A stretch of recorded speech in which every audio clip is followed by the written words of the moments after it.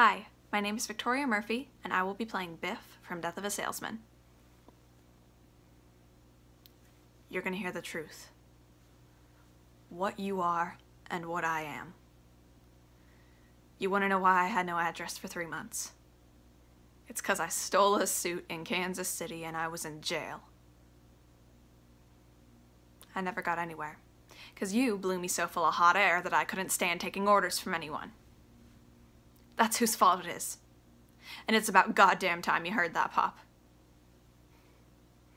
Today I ran down 11 flights with a pen in my hand today. Suddenly I stopped. Do you hear me? I stopped in the middle. Do you hear this? I stopped in the middle of that building and I saw the sky. You know, I just saw all the things that I love in this world. And then I looked down at the pen and I thought to myself, what the hell am I grabbing this for, huh? What am I doing in an office, making a contemptuous, begging fool of myself when all I want is out there? The second I can say who I am. And why can't I say that? Pop, look at me! I'm a dime a dozen, and so are you.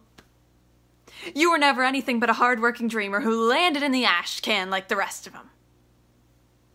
And me, I'm a dollar an hour, Willie. I tried seven states and I couldn't raise it. One buck an hour. Do you gather my meaning, huh?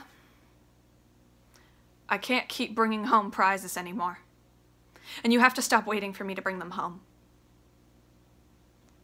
I'm nothing. I'm just what I am. That's all.